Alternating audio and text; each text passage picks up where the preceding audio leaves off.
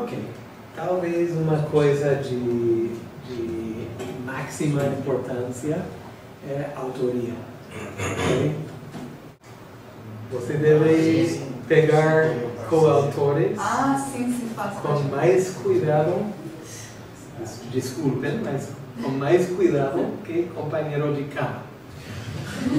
Porque o pior que pode passar com mau companheiro de cama é um vírus. Sim? Uma bactéria, mas vírus é pior. Mas um mau coautor é muito pior.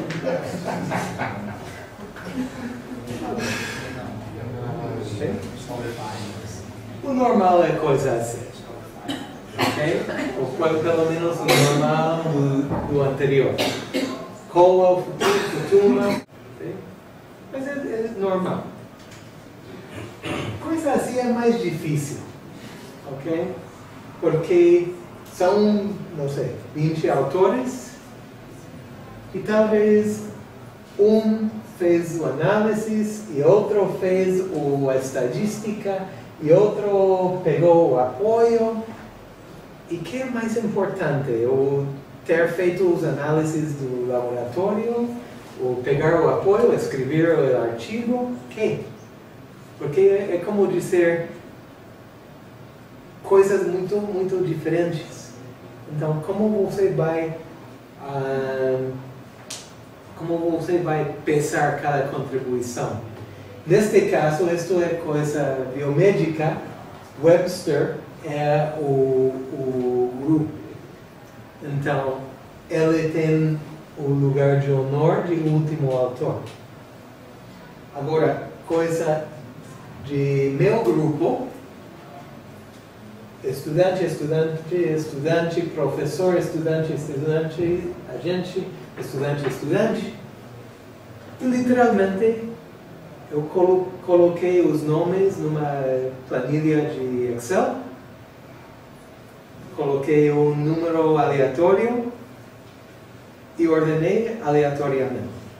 A primeira vez Soberon saiu de primeiro autor, então voltei a, a ordenar e saiu Aaron Salp, que contribuiu muito ao, ao artigo, então, perfeito.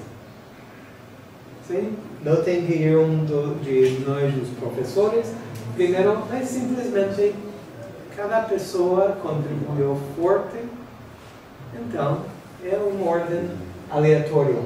Durante dois, dois anos, este grupo falou que vamos colocar em ordem alfabético.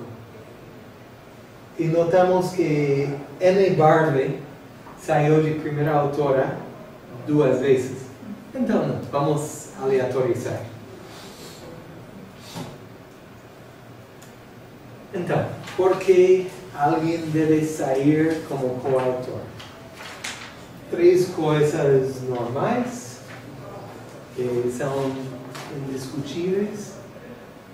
Escreveu, sim.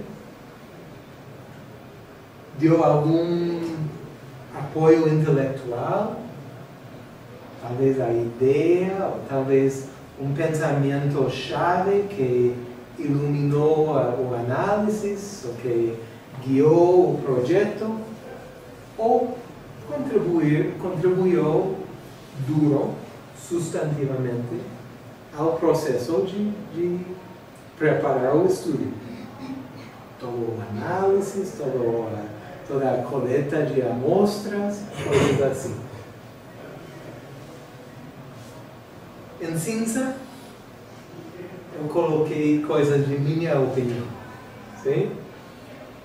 O líder do grupo, laboratório, orientador.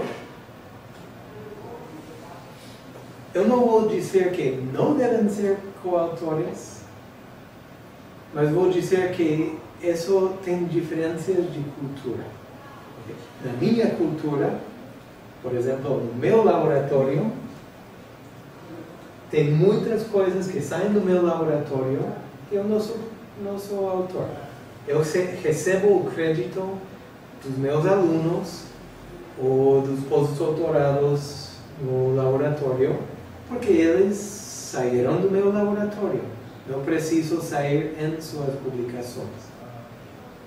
Então, saio com meus estudantes em publicações ou porque era uma parceria intelectual ou de castigo. Se, se você pega seu mestrado no meu laboratório, faz uma coisa interessante e não publica, então vou, vou castigar e vou assegurar que o manuscrito sai. Mas uh, essas são culturas. Eu acho feio que alguém sai como coautor sem contribuição, contribuição material. Uh, mas vocês têm que integrar na cultura do laboratório onde estão estudando. Então, não vou interferir nisso. É dizer, não voltam ao laboratório a, a dizer ao orientador: Você não, não fez nada no meu artigo, então vou tirar a você. Porque ele vai tirar a você do laboratório. Mas, quando vocês são professores, tem que contemplar. Se você faz essa contribuição intelectual ou de esforço, ótimo. Mas se é coisa que um aluno desenvolve sozinho, você vai receber o crédito porque você é o, é o orientador. Então é coisa para contemplar. Mas deve ser, se alguém sai como autor, esse alguém deve ser alguém que contribuiu materialmente ao, ao, ao artigo. Alguma pergunta? Caso de taxonomista que identifica a espécie para o trabalho, ele só identificou. Então ele não seria um coautor. Acho que depende de, das circunstâncias. Se é taxonomista, mas ah, você chega com 3 mil amostras e o taxonomista dedica um mês. Então, acho que isso é um esforço que é igual de importante que, que o que faz o, o estadística.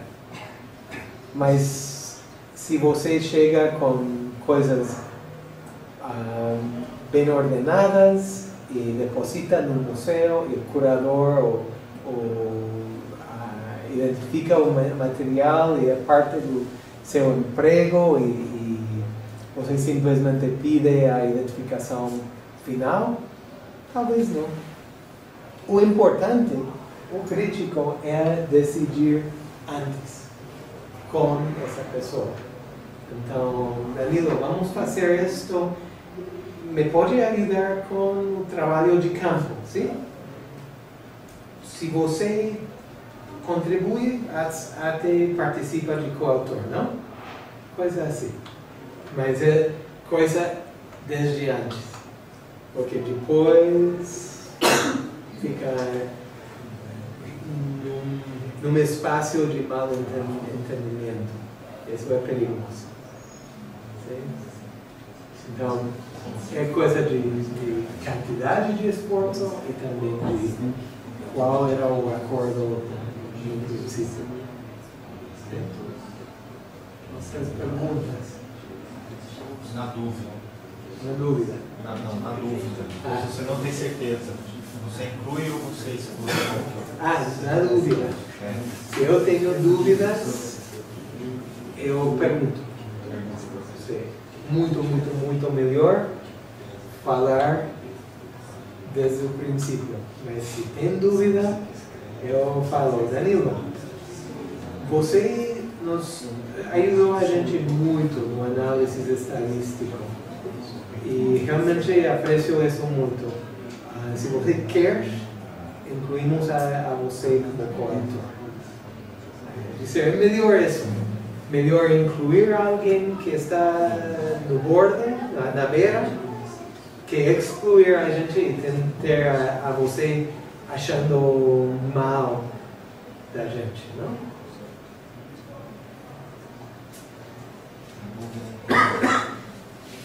para a gente, o editar inglês não conta como contribuição intelectual. Mas três, quatro pessoas por mês pedem uma edição, um manuscrito a câmbio de autoria. E isso para a gente fica fora. Se são mexicanos, normalmente o preço é uma botella de tequila.